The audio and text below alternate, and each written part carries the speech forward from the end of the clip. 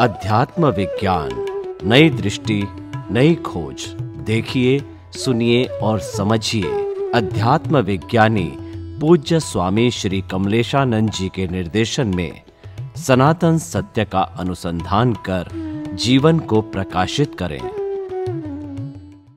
મન વચન કાયની અવસ્થા માત્ર કુદરતી રચના છે જેનો કોઈ બાપો રચના નથી અને તે વ્યવસ્થિત છે સ્થૂળ સંયોગો સૂક્ષ્મ સંયોગો વાણીના સંયોગો પર છે અને પરાધીન હવે જ્યારે સ્થૂળ સૂક્ષ્મ અને વાણીના સંયોગો પર ને પરાધીન હોય તો પછી કોઈ પણ સંજોગોને પુરુષાર્થ ટાઇટલ લાગુ પડે કોઈ પણ મનોચન કાયની ક્રિયાને પુરુષાર્થ આપણે લાગુ પડે ના પણ ભૂલ ક્યાં સોફ્ટવેરમાં આ બધાનો સેન્ટર પોઈન્ટ ક્યાં આવશે એક્શનમાં આવતું જ નથી એક્શન તો તમારા સ્વતંત્રતાની બહારનો વિષય છે.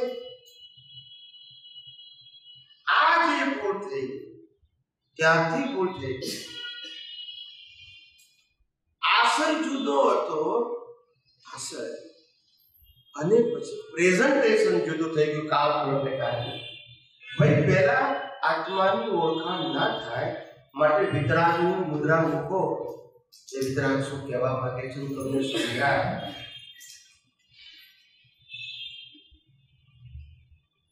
બાળ જીવોને વિતરાગ શું છે એવું સમજાય સ્થૂળ ભાષામાં બાળ જીવો માટે સ્થૂળ ભાષા જ જોયું એટલે આ વિતરાગની મૂર્તિ મૂકી પણ પછી જેમ જેમ બુદ્ધિશાળી લોકો કળિયુગમાં આવતા ગયા તેમ સમજાય કે આ મૂર્તિ તો ખરી પણ હાઉ આઈ કેન આઈડેન્ટિફાય પછી કે જે નામ લખો તો ખબર પડે કોની મૂર્તિ ત્યારથી સોફ્ટવેરમાં ભૂલ થવા માંડી હવે ટાઇટલ આવ્યું પણ ટાઇટલ કઈ રીતે નક્કી કરવું કે આ ઋષભદેવની કે આ શાંતિનાથની એટલે કે ચિહ્ન જોઈએ શું જોઈએ સાહેબ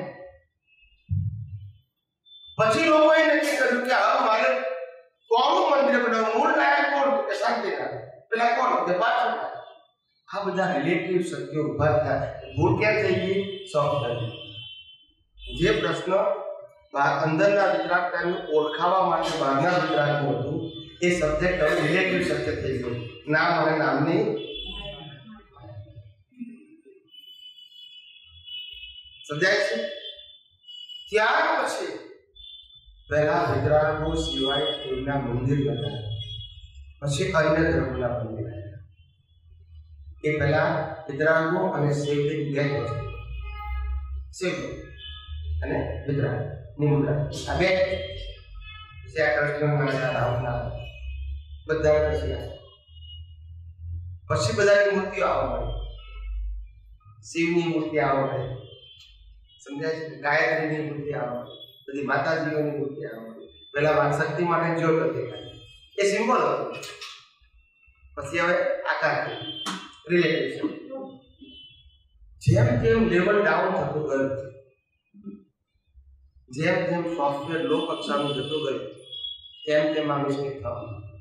અને પછી એમાં કટ્ટર થાય શું આવે છે આ અમારા ભગવાન આ તમારા ભગવાન આ અમારી માતા આ તમારી માતા આ અમારું મંદિર આ તમારું મંદિર આ અમારા મંત્રો આ તમારા મંત્રો હવે આ તો બધું આવે છે પણ ભૂલ ક્યાં થઈ છે સોફ્ટવેર પર સમજાય છે એટલે જ્ઞાની પુરુષો જ્ઞાની પુરુષો સોફ્ટવેરને કરેક્શન કરે છે હાર્ડવેરને ટચ જ કરતા રહે છે એટલે જ્ઞાની પુરુષ તો સિદ્ધાંત બતાવીને ચાલ્યા ગયા હવે તમારે સમજવાનું પણ ભાઈ તમે આ બધું આપ્યું કેમ તો પછી તો કે મારે તો આપવું પડે જેવા જીવો બાળ જીવન એ વાત કરવી પડે નાના છોકરા આવે તો પેપર મીટર રાખવું પડે ભાઈ કે તોય ભાઈ આવી બે પ્રશ્ન પેપર મીટર ઇમ્પોર્ટન્ટ નથી બેસે ઇમ્પોર્ટન્ટ છે એટલે આવી રીતે આ બધી વસ્તુ આપી મૂળ વસ્તુ તો એમને આપી દીધી પણ તમારે સમજવાનું હવે જો આ બધી વસ્તુ ના આપવી હોય, તો કોઈ લખ્યું ના હોય. રાજા ભગવત પિતા હતા આ તો તગાર અને પાવડા મૂકીને ભાગી ગયા.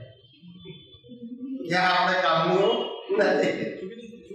તગારા અને પાવડા મૂકીને ભાગી ગયા.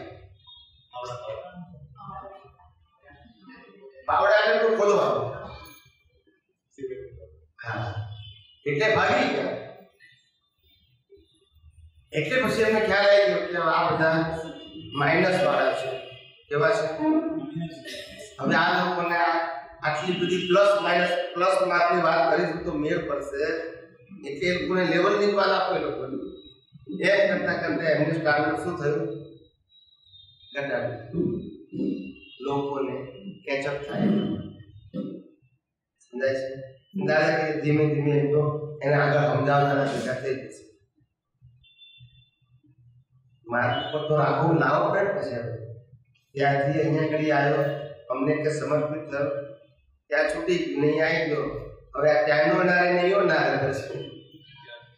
એ પછી અહીંયા માર્ગ આપી દીધો સમજાય આ પ્રશ્ન એમનો આશય જોતો પણ એમની દયા પછીની પરંપરામાં સોફ્ટવેર મિસ્ટેક કહેવાય.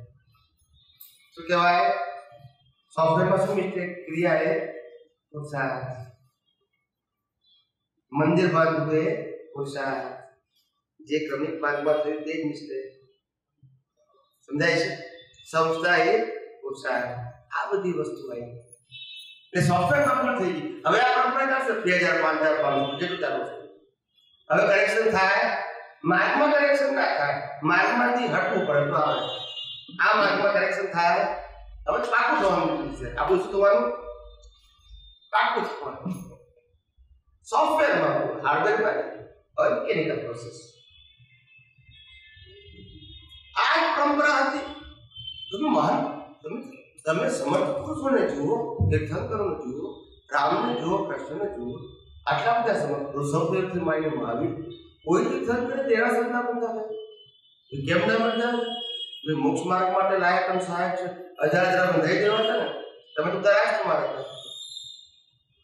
અને તેરાસની પરંપરા તો હજારો વર્ષોથી છે કે નવી નથી.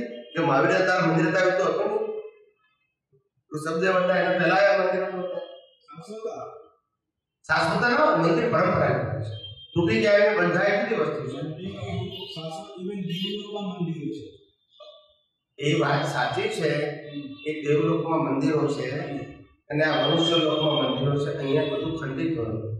ત્યાં રહી શકે અહીં ના રહી શકે અહીંયા બધું વિચ્છેદ થઈ જાય શું થઈ જાય કોઈ પણ બનાવેલી કોઈ પણ વસ્તુ રહે નહીં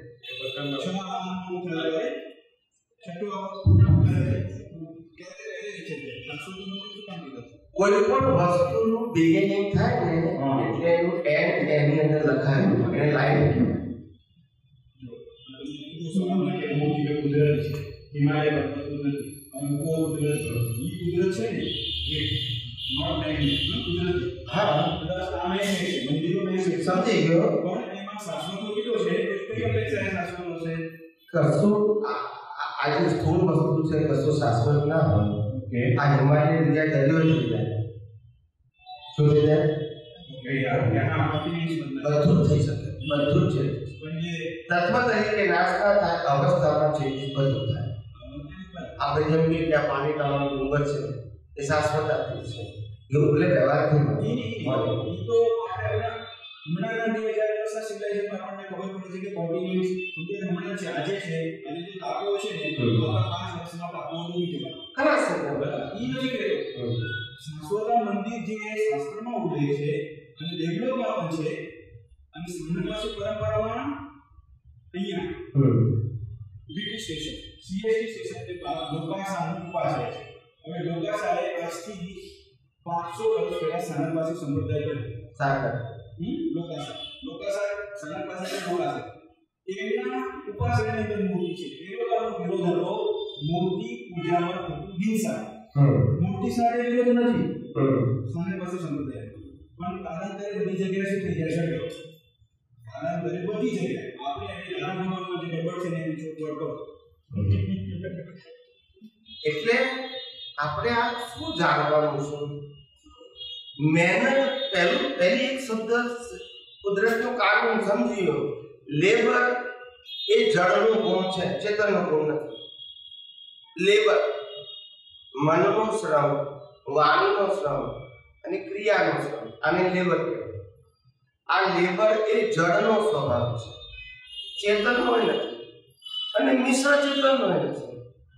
મિશ્ર ચેતન પાસે માત્ર ભાવ કરવાની સત્તા છે લેબર કરવાની નથી અને મન વચન કાયા પાસે લેબર કરવાની સત્તા છે ત્યારે કુદરતી રચના છે એટલે કુદરત હંમેશા જળને જ મેનેજ કરે છે ચેતનને ના કરી શકે સ્વતંત્ર પુરુષ ધણી છે તો પછી હા જળને એ ચેતનને મેનેજ ના કરી શકે પણ જળ અને ચેતનની હાજરીમાં જે મિશ્ર ચેતન ઉત્પન્ન થયું એનું કુદરત ખાલી રિઝલ્ટ આપે છે શું આપે છે એની સ્વતંત્રતાથી કશું કરી શકતો જળનો સ્વભાવ જે છે ઇટ્સ અ પ્રોગ્રામ છે જળ એટલે પ્રોગ્રામ પ્રોગ્રામમાં ફ્રીડમ ના હોય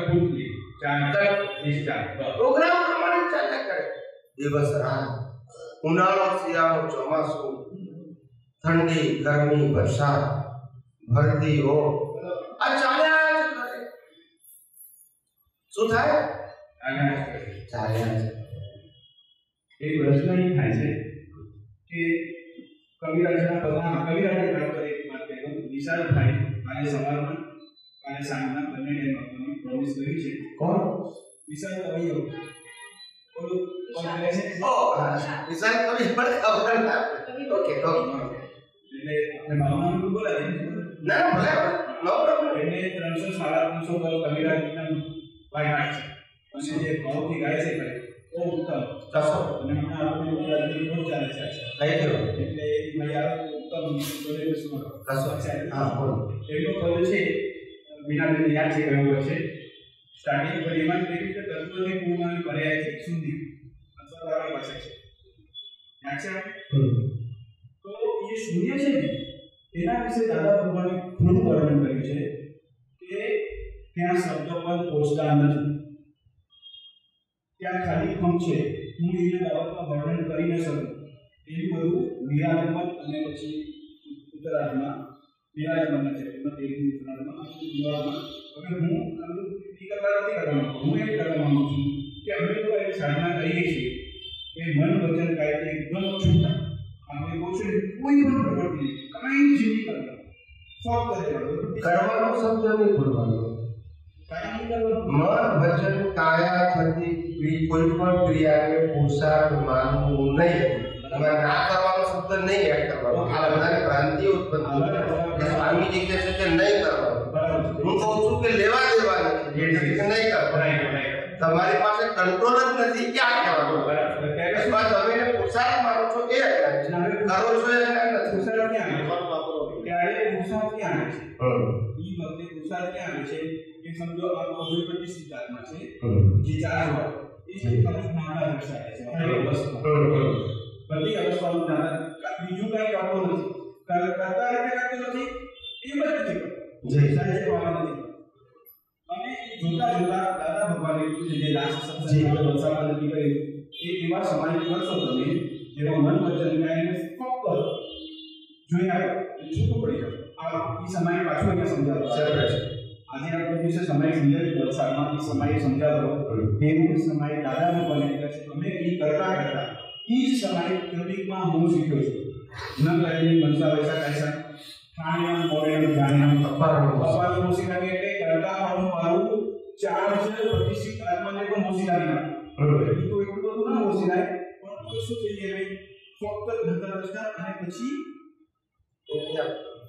પછી કોઈ અપ્રયાસ સાથે દાદા ભગવાન વાત કરી છે ને એમાં અમે છલાંગ મારવાની કોશિશ કરીએ છીએ આપો તો કૃષ્ણ સર્જન આડવાના થાય તો હવે ખબર પડશે અમને પણ ઈ તત્વની શૂન્ય અને પર્યાયની પૂર્ણ છે ને ઈ અવસ્થામાં પણ છે માને એવું પૂછ્યું કે શૂન્ય વિશે આ શું કહેવાય કહો કે કારણ કે આ તો બોલો ને કેવલ દર્શન બધા જવાબ આપી જાય તમને પ્રત્યેક સંસાર સંસાર આગળ ખબર પડી જાય કેવી રીતે સંસાર ચાલે છે એ બધું ઠીક પણ કેટલા લોકો છે સનાતન માતાજી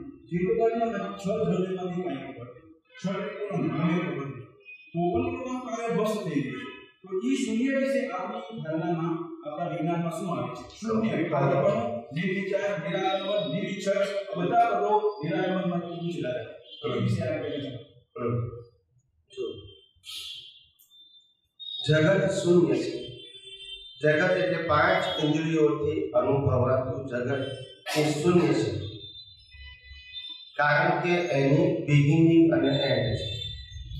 એટલે કાયમી રૂપે શૂન્ય છે અવસ્થા રૂપે ભૂગોળ છે. શું છે? કાયમી અસ્તિત્વ નથી. ખ્યાલ આવી ગયો? એની ઉત્પત્તિ અને નાશ છે. એ દ્રષ્ટિએ શૂન્ય છે. શું છે? શૂન્ય. અને આત્મા પૂર્ણ છે કારણ કે એની ઉત્પત્તિ નથી અને નાશ નથી. જી. બરાબર છે યસ હવે નિત્ય હે? નિત્ય હવે એ છે કે આત્માને શૂન્ય કીધું અને પર્યાયથી પૂર્ણ કીધું આત્માને શૂન્ય કીધું અને પર્યાયથી પૂર્ણ શ્રદ્ધા છે શૂન્યથી લઈ જતો પૂર્ણમાં હમ. અને અ, બીજા બીજા પદમાં એ આવે છે શું છે એવું બધું? બીજા ફર્સ્ટ તમે હું મેસેજ કર્યું છે મને મેસેજ મૂકજો એમાં બધા. શ્રીમંત સ્વામી શ્રદ્ધા છે શૂન્યથી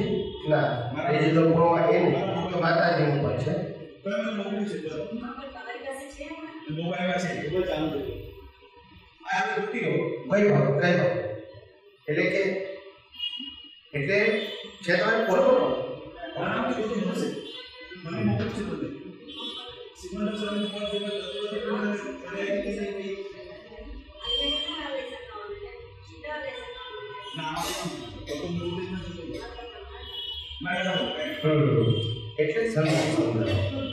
એવું ફેમસ પદ છે તત્વ છે તત્વથી શૂન્ય છે તત્વથી પૂર્ણ છે પર્યાય છે આ વાક્ય છે આ બીજા પદ એ ત- તત્વથી શૂન્ય અને પર્યાયથી પૂર્ણ કેમ કે આ સમજો હવે એનું લોજિક સમજો હા એ છે આત્મા શૂન્ય છે એનું કારણ એને કશું પ્રાપ્ત કરવાનું નથી. એ રીતે શૂન્ય છે. ખ્યાલ આવ્યો? પોતાની રીતે પૂર્ણ છે કારણ કે અપેક્ષા નથી. પણ હવે જ્યારે એકેન્દ્રિયથી પંચેન્દ્રિય મનુષ્યમાં આવ્યો ત્યારથી એને ઇન્દ્રિય જ્ઞાન અને પછી બૌદ્ધિક જ્ઞાન મળ્યું. પાંચ ઇન્દ્રિયોમાં ઇન્દ્રિય જ્ઞાન મળ્યું. મનુષ્યમાં આવ્યા પછી બૌદ્ધિક જ્ઞાન મળ્યું. હવે એને પ્રાપ્તિની ઈચ્છા છે કે આ પ્રાપ્તિથી મને સુખ થાય આ પ્રાપ્તિથી મને આનંદ થાય આ પ્રાપ્તિથી મને શાંતિ થાય આનાથી મને અનુભવ થાય આમ કરવાથી મને આમ થાય આ જે જે પર્યાય કહેવાય શું કહેવાય પર્યાય પર્યાય એ અજ્ઞાનની પર્યાય છે બદલતી અવસ્થા right? હા. બદલતી અવસ્થાઓ અને બદલતી અંદરની દ્રષ્ટિ ઓકે એના આધારે આ બધી પ્રાપ્તિ બનશે રાઈટ એટલે પર્યાયથી એ જ્યારે પૂર્ણ છે એવું જ્યારે સમજશે ત્યારે આત્માનું શૂન્ય છે કારણ કે આ અવસ્થા સાથે એનો કોઈ લેવા દેવા અચ્છા નથી જેમાં એ માનતો હતો કે પ્રાપ્તિ કરવી છે મારે હા અજ્ઞાનતાને કરીને ઠીક અજ્ઞાન અવસ્થાઓના લાખ અવતાર થઈ ગયા ત્યારે એનો સબ્જેક્ટ પ્રાપ્તિ નો હતો શેનો હતો કંઈક મેળવવું છે આનંદ માટે સુખ માટે અહંકાર માટે સમજાય છે બુદ્ધિથી પછી સમજાયું કે આ બધું શૂન્ય છે. હું તો હું છું. એટલે ત્યારે જ્યારે પર્યાય એને સમજાઈ ગયું કે હું તો કોણ છું. હવે અપેક્ષા રાખવાની જરૂર નથી. પણ પહેલા પર્યાયમાં હું અપૂર્ણ હતો. આનાથી શું? આનાથી શું? આનાથી શું? એવું માનતો હતો એ પર્યાયમાં અપૂર્ણ હતો. ત્યારે તો માનતો હતો. હવે પર્યાયમાં સમજી ગયું કે હું પૂર્ણ છું? ત્યારે એ શૂન્ય છે. શૂન્ય એટલે પ્રકૃતિનો એક પણ ગુણ આપવામાં નથી. ને આપવાનો એક ગુણ એટલે પ્રકૃતિના બધા ગુણો કરો રિલેટિવ સત્યના એમાં આત્મા શૂન્ય છે. પણ પોતાના અસ્તિત્વએ કરીને સ્વભાવે કરીને અને પોતાના શાશ્વત ગુણોને કરીને કોણ છે એને પ્રકૃતિના એક પણ ગુણની કે અવસ્થાની કે સાધનની જરૂર નથી.